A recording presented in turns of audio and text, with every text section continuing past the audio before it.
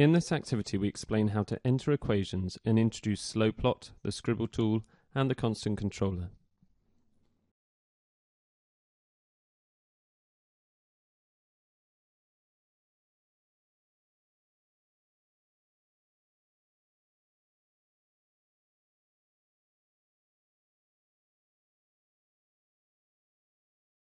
To enter x squared, type xx or press Alt 2.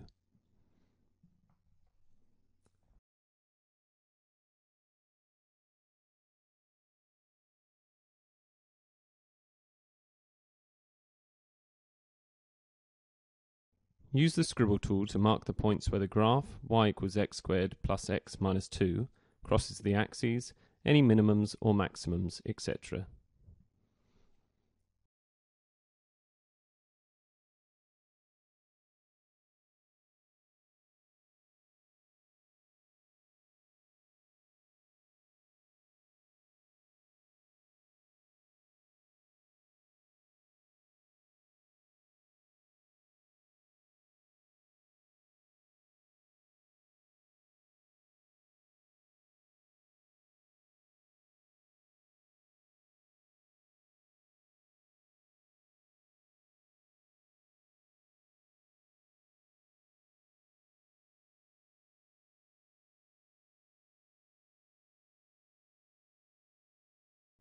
Use the constant controller to change the values of a, b and c.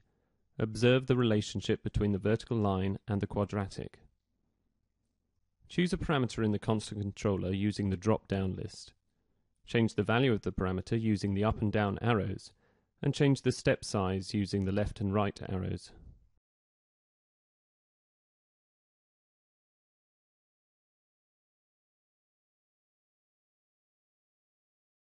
Make a conjecture about the position of the line x equals minus b divided by 2a in relation to the quadratic y equals ax squared plus bx plus c. Can you prove this conjecture?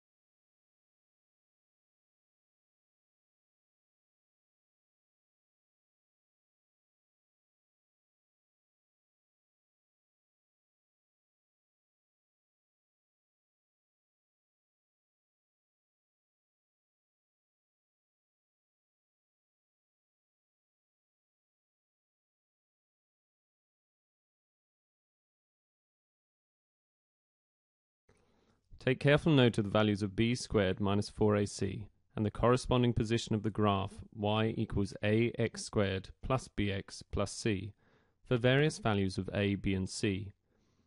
Look at how many times the graph hits the x-axis and compare this to when b squared minus 4ac is less than 0, equal to 0 or greater than 0. Make a conjecture about how you can tell the number of roots there are to ax squared plus bx plus c equals 0 by calculating the value of b squared minus 4ac.